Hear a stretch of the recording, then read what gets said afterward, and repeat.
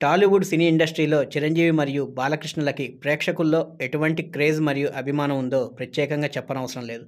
అయితే ఈ ఇద్దరు హీరోలు ప్రస్తుతం వరుస సినిమాలు చేస్తూ బిజీగా ఉన్న సంగతి తెలిసిందే. ప్రస్తుతం వీరిద్దరు హీరోలుగా వస్తున్న సినిమాలన్నీ కూడా ఒక రేంజ్లో బిజినెస్లను జరుపుతున్నాయి.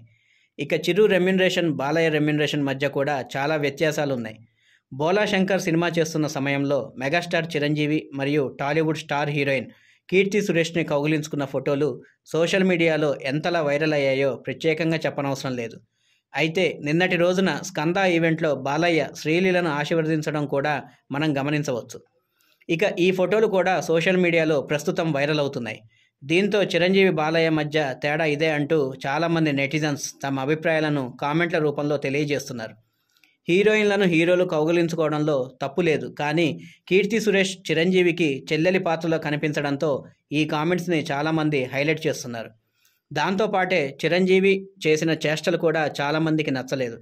ముఖ్యంగా ఈ విషయంపై చాలామంది తమ భిన్న అభిప్రాయాలను కామెంట్ల రూపంలో తెలియజేస్తున్నారు. అయితే స్కంద సినిమాలో రామ్ గురించి బోయపాటి గురించి చెప్పగా బోయపాటి శ్రీను పైన ఉన్న అభిమానంతో బాలయ్య ఈవెంట్కి ముఖ్య అతిథిగా హాజరయ్యారు. ఇక ప్రస్తుతం నందమూరి బాలకృష్ణ అనిల్ రావిపూడి దర్శకత్వంలో భగవంత్ కేసరి సినిమా షూటింగ్లో బిజీగా ఉన్న సంగతి తెలిసిందే. కాగా ఆ సినిమాలో బాలయ్య కూతురు పాత్రలో కనిపించబోతోంది శ్రీలీల. దాంతోపాటు బాలయ్యకి జోడీగా కాజల్ అగర్వాల్ హీరోయిన్గా నటిస్తోంది. ఈ సినిమా ఈ ఏడాది దసరా కానుకగా విడుదల చేస్తున్నారు.